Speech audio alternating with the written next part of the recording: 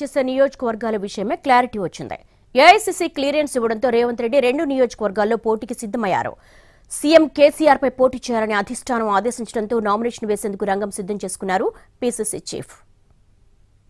Target KCR దిశగా తెలంగాణ కాంగ్రెస్ అడుగులేస్తోంది. CM KCR పై బలమైన అభ్యర్థిని బరిలోకి దించేలా వ్యూహం పన్నింది. కామారెడ్డిలో పీసీసీ చీఫ్ రేవంత్ రెడ్డిని బరిలో దించడానికి కాంగ్రెస్ హైకమాండ్ గ్రీన్ సిగ్నల్ ఇచ్చింది. రేవంత్ రెడ్డి ఈ నెల ఎనిమిదవ తేదీన కామారెడ్డిలో నామినేషన్ వేయనున్నారు. దీనికి సంబంధించి నిజామాబాద్ జిల్లా నేతలతో ఇన్ఛార్జ్ థాక్రే గాంధీభవన్లో జరిగిన సమావేశంలో స్పష్టతనిచ్చారు.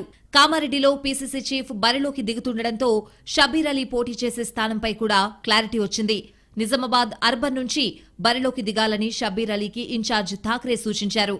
నామినేషన్కి సిద్ధం కావాలన్న పార్టీ ఆదేశాలతో నిజామాబాద్ అర్బన్ నేతలతో ఆదివారం షబీర్ అలీ సమావేశమవుతున్నారు. సమావేశంలో నామినేషన్ వేసే తేదీని ఖరారు చేయబోతున్నారు షబీర్ అలీ. దీంతో పీసీసీ చీఫ్ రేవంత్ సైతం రెండు నియోజకవర్గాల్లో పోటీ చేయనున్నారు.